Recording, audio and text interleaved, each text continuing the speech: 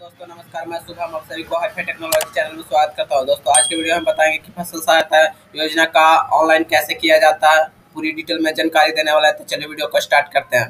सबसे पहले वीडियो के डिस्क्रिप्शन बॉक्स में आपको लिंक मिल जाएगा। वहाँ से डायरेक्ट आप इसके ऑफिशियल वेबसाइट पे आ जाएँगे। जैसे कि यहाँ पे देखिए इसका ऑफिशियल वेबसाइट ओपन है। इसी तरह आपको यहाँ पे आ जाना। उसके बाद यहाँ पे लिंक नंबर वन पे क्लिक करना है। केवल फ़सल सहायता योजना हेतु इस पर क्लिक कर देंगे। उसके बाद आपके पास लॉगिन के लिए यूज़र आईडी और पासवर्ड मांगेगा तो यदि आपके पास यूज़र आईडी और पासवर्ड पहले से है तो आप वाले बटन पर क्लिक कीजिएगा। तो आपका डिटेल पूरा यहाँ शो होने लगेगा। जैसे कि यहाँ पे देखिए, सारा डिटेल शो होने लगा। यहाँ पे आप अपना नाम, पता, पंचायत, किसान का नाम, पति का नाम, पिता का नाम मोबाइल नंबर पासपोर्ट यहाँ पे आप अपना बना सकते हैं। उसी पासवर्ड से आप लॉगिन कर सकते हैं। उसके बाद यहाँ पे कैप्चा डालिएगा।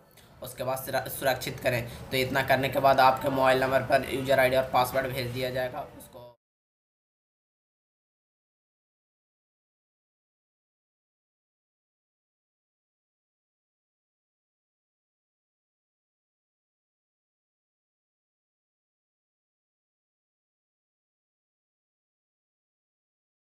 सिंपली यहाँ से कट करके और यहाँ पे आकर के फिर लॉगिन कर लेना। तो चलिए हम आपको लॉगिन करके बताने वाले हैं। तो यहाँ पे देखिए, हम अपना मोबाइल नंबर डाल देते हैं और लॉगिन करके आपको बताते हैं कि किस प्रकार आवेदन किया जाता है। कंट्रोल प्लस बी यहाँ पे कर देंगे। मेरा मोबाइल नंबर आ जाएगा। उसके बाद यहाँ से हम यूज़र आईडी और पासवर्ड अपना डाल देंगे। जो भी पासवर्ड आप बनाए वो पासवर्ड आप यहाँ पे डालिएगा।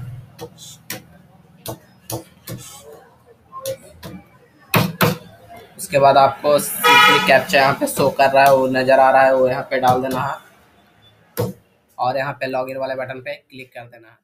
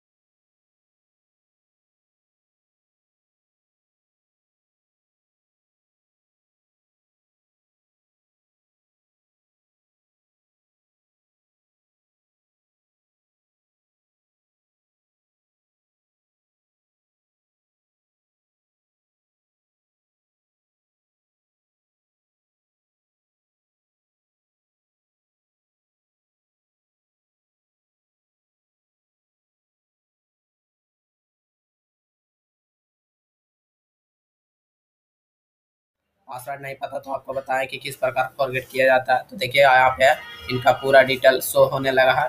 आप यहाँ से डायरेक्टली आवेदन दे सकते हैं। जैसे कि यहाँ पे देखिए, पंजीकरण हो चुका है इनका।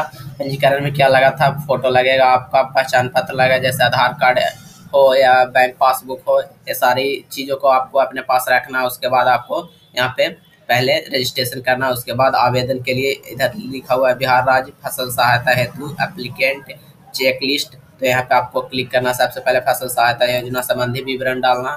तो विवरण हम यहाँ पे डाल देते हैं। यहाँ से पूछ रहा है किसान का प्रकार था किसान का प्रकार रैयत है, गैर रैयत है। तो रैयत तो उसको कहते हैं जो अपने ही खेती को करते हैं और गैर रैयत वो होते हैं। जो किसी व्यक्ति का खेत है, मगर वो उसमें काम करते हैं तो गैर रैयत यहाँ पे अगर आप है तो गैर रैयत सेलेक्ट करेंगे। अगर आप दोनों भरना चाहते हैं बटैया भी करते हैं मतलब दूसरे के भी खेती करते हैं, कुछ अपना भी खेती है तो आप दोनों डाल सकते हैं, रैयत एवं गैर रैयत उसके बाद आपको यहाँ डिसमिल में डालना चाहता है कि कितने ज़मीन है जो ज़मीन में काम करते हैं, कितने डिसमिल में आप अपने फ़सल को बोए हैं। तो यहाँ पे चलिए हम डाल देते हैं। टोटल कितनी है? यहाँ पे अपना हम लिख देते हैं चार दस गेहूँ कितना आप बोए हैं? तो यहाँ पे जितना भी गेहूँ आप बोए हैं वो डालिएगा। तो हम यहाँ पे डाल देते हैं। उसके बाद आपके पास मसूर कितना है तो मसूर भी आप डालिएगा। जितना भी मसूर होगा वो आप उतना ही डालिएगा क्योंकि ज़्यादा डाल दीजिएगा तो कभी चे, चेक में आएगा तो आपका अगर नहीं रहेगा तो आपका आवेदन रद्द कर दिया जाएगा। इसलिए आपको सही सही डालना, गलत बिल्कुल भी नहीं करना। फिर यहाँ से अगर मक्का आप लगाए हैं, राई सरसों लगाए हैं तो वो डालना। अगर नहीं लगाए तो उसको छोड़ दीजिए। हम राई सरसों डाल देते हैं।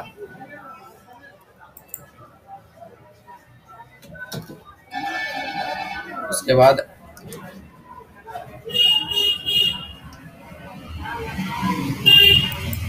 चार बीस कर लेते हैं।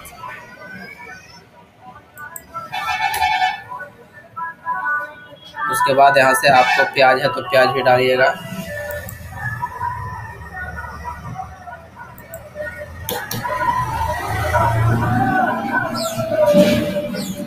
आलू यहाँ पे है तो आलू भी डाल दीजिएगा कितना डिसमिल आप आलू लगाए हैं।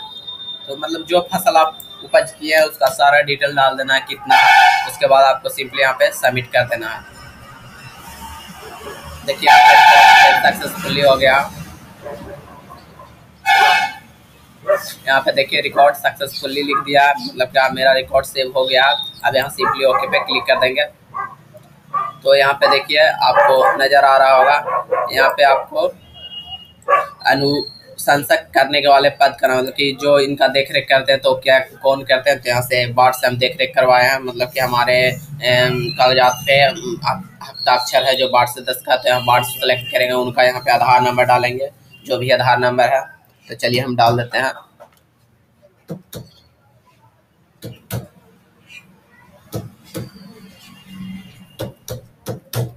उसके बाद उनका नाम क्या है? नाम डालना है।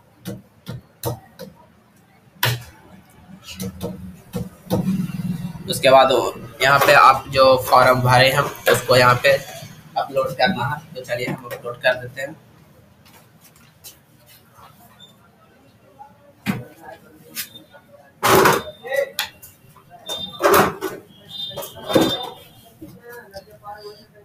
यहाँ पे फॉर्म हम 400 सौ के में अपलोड करेंगे। तो चलिए यहाँ से हम स्कैन कर लेते हैं पहले। तो इसको मिनिमाइज करते हैं और यहाँ से स्कैन करते हैं।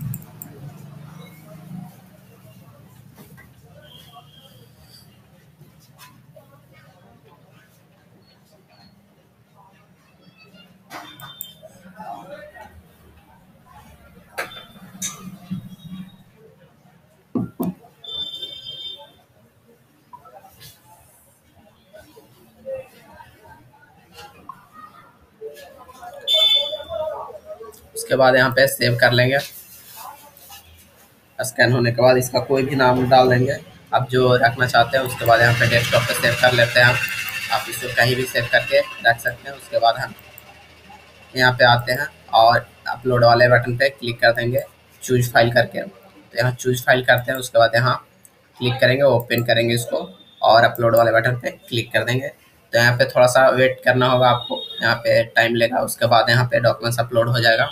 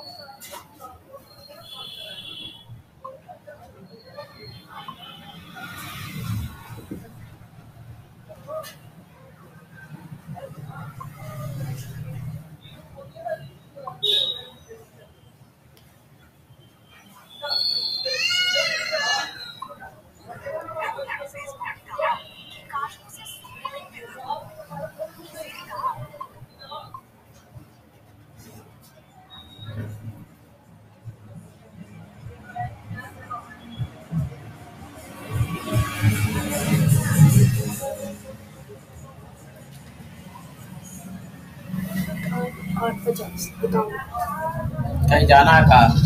ना ना अभी लेट होगा अभी। ना ना हो गया। निकाल के दे रहा। है अब कोई दिक्कत ना है?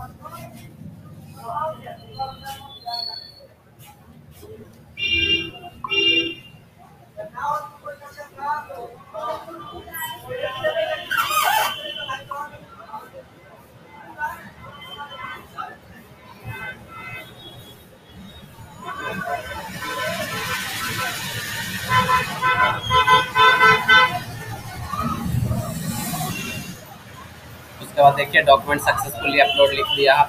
यहाँ से आपको गो होम करना है। और उसके बाद नीचे चले आना है। आवेदन को अंतिम रूप दे। यहाँ पे आपको सिंपली क्लिक कर देना है। तो देखिए, मेरा पूरा सबमिट हो चुका है फॉर्म अब इसको हम नेक्स्ट करेंगे। यहाँ पे पूरा डिटेल आपको मिल जाएगा। आप पढ़ भी सकते हैं। उसके बाद यहाँ टिक करेंगे। उसके बाद फाइनल सबमिट करेंगे।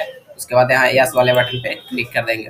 उसके बाद आपके सामने आपका रिसीविंग मिल जाएगा। आप उसको प्रिंट करके रख सकते हैं। जैसे कि आप देखिए यहाँ पे पूरी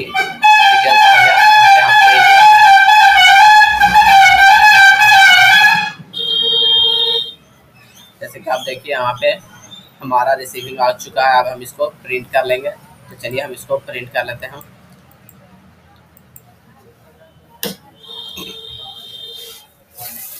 उसके बाद प्रिंट बटन पे क्लिक कर देंगे। तो देखेंगे कि यहाँ पे मेरा प्रिंट हो जाएगा।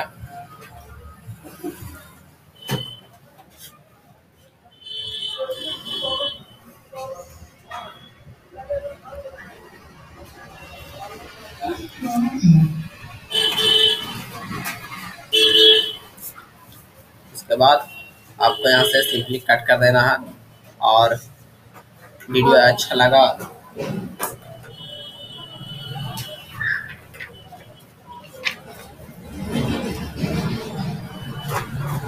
thank you for watching video अगर वीडियो अच्छा लगा हो तो चैनल को सब्सक्राइब करके वीडियो को लाइक कर दीजिए।